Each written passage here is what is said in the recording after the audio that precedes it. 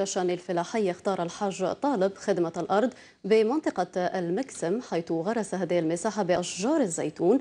غير أن انعدام الكهرباء الفلاحية رغم قرب الشبكة من أرضه جعله يستنكر هذه الوضعية رفقة فلاحين آخرين. نتابع المزيد مع كريم يحيى.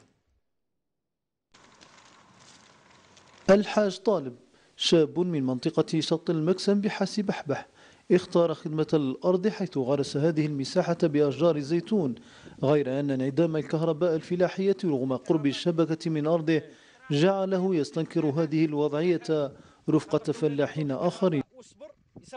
رانا نعانوا من الكهرباء الفلاحية. رانا من 2001 وإحنا نروح للسلطات اللي نروح لأي إدارة نروح ليها يقول لي راك متهني راك متهني اليومين هذا. رانا في 17 عام ما كاين والو. اخزروا الساج رانا مفلحين. الكهرباء هي وين 400 متر. أنا ندوس من السلطات باه يعطونا إلكتريسيتي.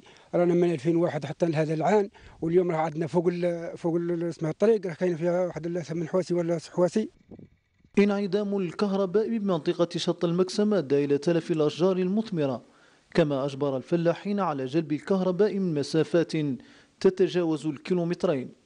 أنا في عشرين عام هذا الحاسي جاء طالبين عليه وما عطاوناش.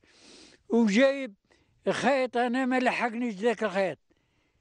على زوج كيلو ونص.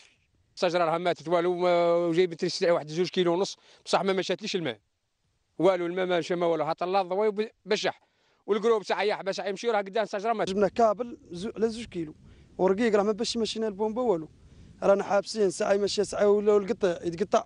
رغم اجتهاد عدد من الفلاحين وبذلهم مجهودات كبيرة لخدمة الأرض إلا أن البيروقراطية أجلت استفادتهم من الكهرباء الفلاحية رغم الوعود المتكررة.